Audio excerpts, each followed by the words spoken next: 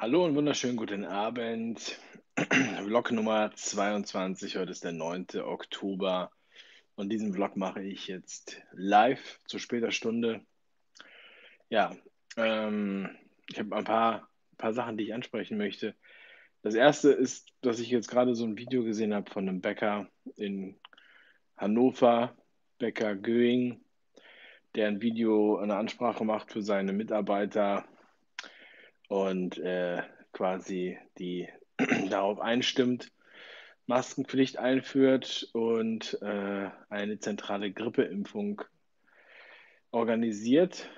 Und er sagt ganz eindringlich, er möchte unbedingt, dass alle dahin gehen. Und die, die nicht zur Grippeimpfung gehen, die wird er sich ganz genau angucken.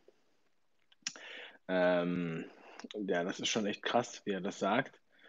Die werden ihre Quittung noch bekommen, also dieser Bäcker heißt Göing, ja, G-O-E-I-N-G.de.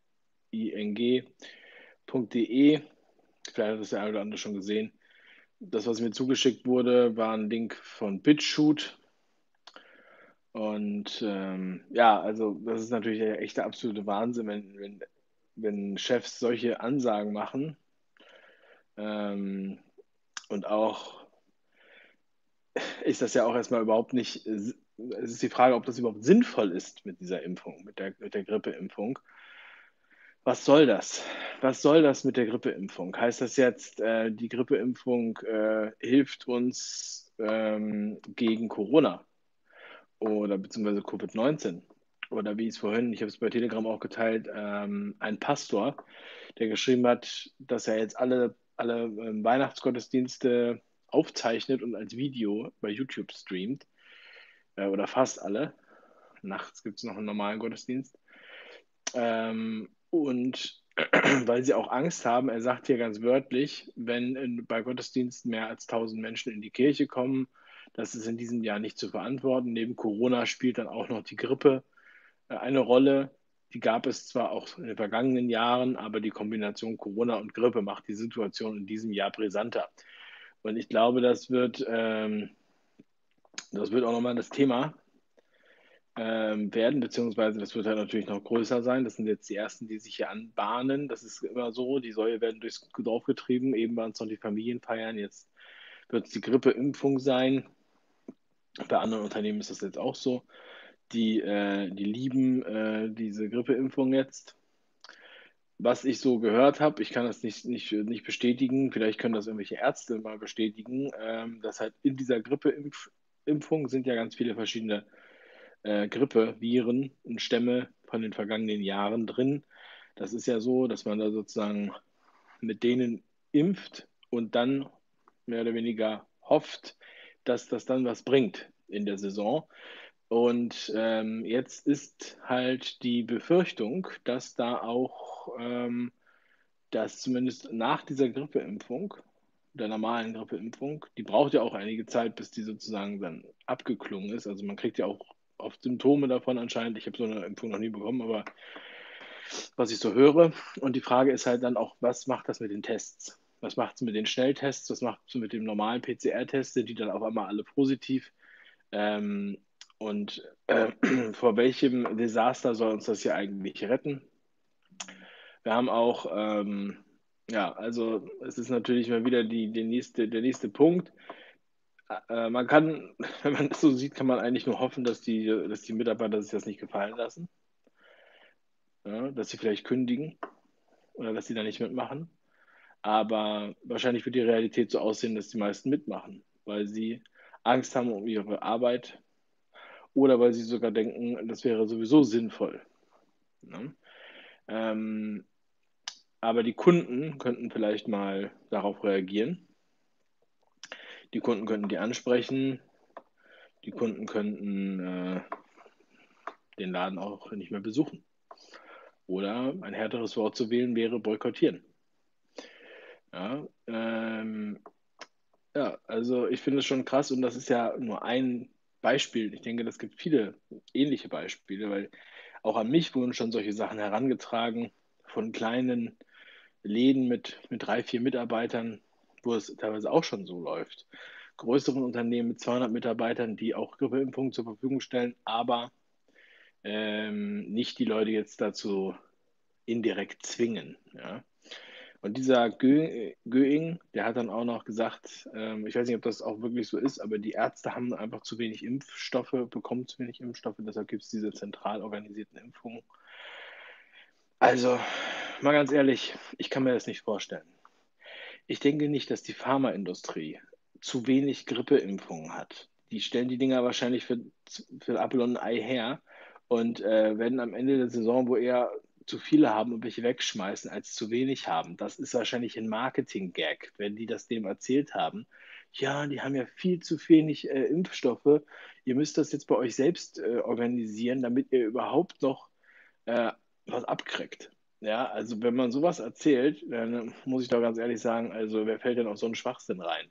Ja, also ich glaube, es gibt keinen Fall, wo jemand mal zum Arzt gegangen ist und dann hat der Arzt gesagt, nee, du, also alle Grippeimpfungen sind schon weg. Und in diesem Jahr werden die ja wohl nicht das ganze Jahr geschlafen haben, sondern die werden dieses Geschäft mitnehmen. So, von daher äh, ist das wohl auch echt eine ganz, ganz seltsame, äh, ganz, ganz seltsamer Marketing-Stunt, eine Verarschung. Ja, und ich, ähm, also ich verurteile natürlich alle Unternehmen, die sowas machen. Ähm, ich meine, dafür haben wir ja äh, Menschenrechte, körperliche Unversehrtheit und deswegen, wir machen hier, wir können hier nicht so einen Druck ausüben. Wir sind hier nicht in China, noch nicht. Ja, wir sind hier nicht in der Diktatur. Das hat ja sogar Mirko Rotschmann gesagt. Ähm, also eigentlich müsste man da, ich weiß ja nicht, wie groß der Laden ist, aber da müsste ja eigentlich der Betriebsrat müsste dann eigentlich sagen, also äh, ne, hebt den Mittelfinger und äh, das kann ja wohl nicht wahr sein. Und dann macht er das noch in so einer fröhlichen Videonachricht. Ich werde das da mal gucken, also, dann teile ich das nochmal bei Telegram. Also wer noch nicht bei Telegram ist, der sollte sich endlich mal bei Telegram anmelden. Ähm, ja, also hier beim Kanal sind ja über 100.000 Leute, die äh, noch nicht bei Telegram sind. Ähm, ja, gut. Also zum, äh, jetzt haben einige geschrieben, ich soll was zum Wendler sagen. Ich habe ja gestern alles über den Wendler gesagt, was ich weiß. Ich kenne den Wendler nicht. Ich habe mir danach mal ein Video von dem angeguckt oder ein Lied. Ich kannte das Lied auch nicht. Äh, ist nicht in meiner Realität sozusagen. Ne? Ähm, so, und weiter kann ich da jetzt auch nichts mehr zu sagen. Brauche ich glaube ich auch nicht. Ähm, ja, wichtiger, also ich habe auch heute, also wenn ihr bei Telegram mal reinguckt, sind echt ein paar paar krasse Sachen auch drin. Mm, ähm, da wurde auch übrigens äh, von, von Reitschuster, der hat auch den Artikel bzw. die Sendung gelobt, die ich gestern erwähnt habe, diese Ihre Meinung-Sendung. Ähm, ich habe das Video jetzt noch nicht bekommen, aber vielleicht findet ihr das mittlerweile in der, in der Mediathek. Ähm, Dirk Sattelmeier, mit dem habe ich auch gequatscht, der hat gesagt, es war wahrscheinlich eher ein Ausrutscher, dass die da solche Gäste hatten. Er kann sich das nicht vorstellen. Er hat noch nie so was Freiheitliches äh, mitbekommen und solche Meinungen. Und ähm, ich denke auch, dass die, äh, ich lese den Chat, ja, ja, aber ich, ja, das geht so schnell, ich kann ja hier nicht die ganze Zeit auf den Chat eingehen. bitte, auf, bitte mit der Faust auf den Tisch hauen. Ähm, ja, also äh, vielleicht ist es auch so, dass die, ähm, die Redakteure langsam. Ähm, ah, Olli Grabowski schreibt, die Sendung ist bei YouTube. Okay, dann findet ihr die da. Ähm, Wendler ist mit dem Schnuffelklingelton, da kenne ich auch nicht den Schnuffelklingelton. Äh, okay. Ja, und ähm, ja, Merkel will jetzt äh, kündigt neue Corona-Maßnahmen an. Es geht jetzt echt rund, also es muss ja, muss ja noch viel, viel mehr passieren, ja. Meine Güte. Ähm, meine, mein Bundeswehrkontakt hatte ja im Juli gesagt, 20. Oktober. Äh, sozusagen zweite Welle. Was das jetzt genau bedeutet, weiß ich nicht. Also neuen Lockdown äh, national wird es wohl nicht geben, aber so wie sich das hier anhört, äh, kann ich mir schon vorstellen, dass die großen Städte vielleicht einen Lockdown erleben oder einige Städte da. In dieser besagten Sendung hat ja auch ein Jurist gesagt, es wäre verfassungswidrig, jetzt wieder so den äh, Lockdown durchzuführen wie beim letzten Mal oder beim ersten Mal. Und ähm, von daher denke ich, die werden das so nicht machen, aber die werden das vielleicht irgendwie anders machen. Ja? Also wenn man das einfach lokal macht und das ist dann alles in Ordnung, dann, dann geht das ja so. Ja, das Licht ist hier nicht so gut, Leute. Ne? Ich bin hier gerade, ich habe das hier, ich bin mal mit dem Handy hier und ähm, habe, äh, was ist das? Diese Stange hier, da dran. Ähm, Selfie-Stick. Damit ich das nicht die ganze Zeit so blöd halten muss. Ähm, ja, also es passiert echt jeden Tag was. Es ist verrückt und eine, äh, eine verrückte äh, Journalistin von der, von der Welt hat auch noch echt so einen krassen Propagandatweet abgelassen. Den habe ich auch äh, bei, bei Twillingham geteilt. Ich lese euch den mal vor. Dem Sechsjährigen erklärt, warum nach Mai der zweite Urlaub ausfällt. Ich verstehe schon, Mama, kein Problem. Wir warten auf den Impfstoff. Zu Hause ist es auch schön. Sprach, setzt sich den Mundschutz auf und ging zur Schule. Ob wir uns alle mal ein Beispiel daran nehmen könnten. Da kommen einem ja fast die Tränen, ey, wenn man das liest. Ja, also man kann sich nur fragen, äh, was, was reitet diese Frau dazu, sowas zu schreiben? Caroline Turzer. Ja, aber wir haben uns auch was, ähm, wir haben uns, wir haben ein paar schöne Sachen äh, vorbereitet. Äh, die werden auch kommen in den nächsten Tagen und Wochen. Also nicht nur mein Geburtstag am Sonntag, das ist äh, noch gar nicht das Thema. Aber am Montag in der Tagessau werde ich was bekannt geben. Und zwar machen wir da eine, eine geile Kunstaktion ein, mit einem Künstler zusammen. Und der Künstler, der hat da was super Geiles gemacht. Und wir werden dann äh, das Ding am Montag starten. Und ähm, das wäre eine Aktion, wo ihr auch alle mitmachen könnt. Dann, jeder, der Bock hat. Und das ist so ein bisschen Street Art mäßig. Ja, ein bisschen Street Art. Also, wenn ihr Banksy kennt. Ja, also es ist schon auf jeden Fall äh, Street Art. Äh, man kann das auch noch ein bisschen ausbauen. Und ich sage jetzt noch nicht, was es ist. Am Montag werde ich sagen, was es ist. Ähm, aber es ist wirklich Street Art. Das wird richtig geil. Alle, die ich das bisher gezeigt habe, fanden das mega geil. So, ähm, für das Ding wollte ich, mache ich, mache ich eine Art Wegweiser, einen digitalen Wegweiser. Und zwar eine Internetseite, wo man sozusagen ähm, äh, zu, wichtigen, zu den wichtigsten Links kommt. Das, und dafür könnt ihr auch, würde ich mich auch freuen, wenn ihr was in die Kommentare schreibt. Also nicht jetzt in den Chat, weil das sehe ich dann nicht mehr. Entweder ihr schreibt es bei Telegram, gleich unter dem Post von diesem Video, wenn ich es dann gepostet habe, oder ihr postet es hier in die Kommentare, wenn das Video, wenn der Stream zu Ende ist. Und zwar welche Links ihr unbedingt auf dieser Seite sehen wollen möchtet, aber wiederum mit dem Blick von Menschen, die bisher ähm, überhaupt noch nicht aufgewacht sind, nicht damit sich beschäftigt haben, die, ähm, sagen wir mal, also die sehen dieses, ähm, diese Street Art, ja, und kommen dann auf die Idee, sich das mal anzugucken oder kommen ins Zweifeln welche Seiten sollten die sich dann angucken? So.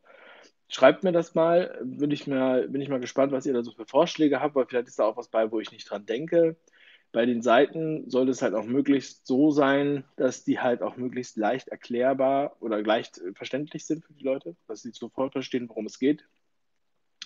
Ich werde vermutlich zu jedem dieser Links auch noch ein kleines Video machen, um den Menschen, die auf diese Seite kommen, das zu erklären warum sie sich das angucken. Weil meine Batterie ist hier gleich leer, also dann hört der Stream auf. ähm, also, äh, genau, und dann werde ich das nochmal ganz kurz erklären mit dem Video, damit der Zugang möglichst einfach ist zu dieser Kunstaktion. Also schreibt mir bitte eure Links in die Kommentare oder geht auf Telegram, abonniert den Kanal und schreibt dann da eure Links in die Kommentare rein. Ich denke, das ist absolut wichtig. Und diese Themen, die wir da ansprechen, die sind sehr, ich denke, dass sie schon sehr polarisierend sind. Und durch diese Kunst wirkt es auch so, ähm, dass man ja auch provoziert wird, zu gucken, also auf diese Internetseite zu gucken. Ja? Äh, ich sage jetzt auch noch nicht, wie die Internetseite heißt, aber am Montag bei der Tagessau werde ich das live verkünden, abends. So, und ähm, ja, das war es erstmal so bis dato.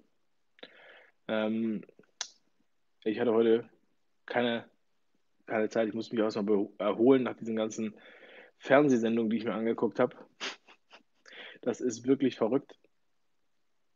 Ähm, aber trotzdem vielen Dank für das, für das Feedback und dass es euch äh, auch irgendwie, irgendwie hilft, ja, das so zu erkennen oder zu, zu, so zu konsumieren. Ähm, ich denke, ich werde nächste Woche auch wieder sowas machen. Äh, ich habe ja auch noch nicht Anne Will geguckt. Ja, bin ich auch mal gespannt, was die so macht. Ähm, jetzt am Wochenende, weiß ich noch nicht, werde ich ein bisschen, ein bisschen ruhiger machen. Sonntag habe ich ja Geburtstag. Aber ja, ich werde mich auf jeden Fall melden. So, und einen Vlog mache ich auf jeden Fall in allen Fällen. Heute mal ausnahmsweise sehr spät, dafür aber live. So. Also, meine Lieben, macht euch keine Sorgen um meine Augen oder um meine Frisur. Ich, ähm, ich habe einen dreckigen Pullover an. Ich habe, äh, ich mache mich, ich, es geht nicht darum, dass ich hier besonders hübsch aussehe, ja, äh, sondern ich wollte einfach hier äh, irgendwas unbedingt sagen. So, dafür mache ich das. Dafür heißt das auch Vlog, das Format. Das heißt, so kann ich machen, was ich will, sozusagen. Also, beim nächsten Mal mache ich mich wieder hübsch. Und jetzt wünsche ich euch noch einen schönen Abend. Wenn ich es noch nicht gemacht habe, dann abonniert bitte den Telegram-Kanal, schreibt mir eure Links, abonniert die Tagessau. Macht was draus und guckt euch die anderen Sachen an von den ganzen anderen Leuten. Von mir aus auch von Michael Wendler. Ich weiß nicht, was der macht, aber irgendwas macht er bestimmt. Mir ist das egal. Okay? Also, meine Lieben, Rock and Roll und wunderschönen Abend noch. Ich bin nicht fertig, ich bin nicht müde, ich, ich bin einfach so, ich sehe einfach so aus. Das ist nur eine Frage des Lichtes, Leute. Rasieren könnte ich mich mal wieder. Das ist wahr. Okay, ich kann auch noch ein paar Fragen beantworten, falls jemand noch eine Frage hat. Gute Nacht, ciao, ciao. Ausgestiegen. Okay. Frage noch. Schön. Schönen Abend noch. Bleibt stark, meine Lieben. Haut rein. Tschüss. Wie mache ich das hier aus? Ja, jedes Mal.